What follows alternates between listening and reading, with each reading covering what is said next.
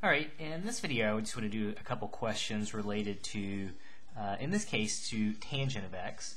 And we're going to ask ourselves, what's the period of tangent x and what are the zeros of tangent x? So I think probably the easiest way to address this is just to remember the graph. And again, to get this graph, you could plot points, um, whatever you want to do. Um, so tangent of x, remember we can define that to be sine of x over cosine x. Well, maybe we can answer the second part, uh, you know, the second question first. We want to figure out the zeros of tangent x.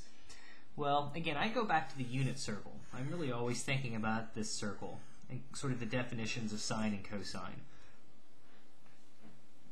Anywhere cosine of x equals 0, we would get something over 0, which would be undefined. So whenever the denominator, whenever cosine equals 0, that's actually where we're going to get, uh, in this case, vertical asymptotes. Well, cosine has to do with the x-coordinate on the unit circle. And certainly that's going to happen at pi over 2. Cosine of pi over 2 equals 0. So we're going to end up getting 0 in the denominator of our fraction if we plugged in pi over 2.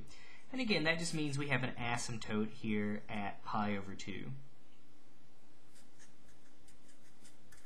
Likewise, um, if we went to the bottom of the circle, uh, that would be another place where cosine equals 0. One way to describe that angle would be the angle negative pi over 2. So likewise, if we plug negative pi over 2 into the denominator, uh, we'll get cosine of negative pi over 2, which will be 0. So that's kind of how I remember these sort of uh, first, you know, as you leave the origin, where, where would be the first place you hit these vertical asymptotes. And then again, you can always plot points. If you plug in 0, tangent of 0 would be sine of 0 over cosine of 0, which is 0 over 1. You know, for example, at pi over 4, sine and cosine have the same value, so you'll be at positive 1. And then they just uh, as you get as you plug in numbers closer and closer to pi over 2 from the left, a little bit smaller, uh, tangent is just going to go off to positive infinity. And then as you go sort of the other direction to negative pi over 2, it's going to go off to, towards negative infinity. Um, let's see here.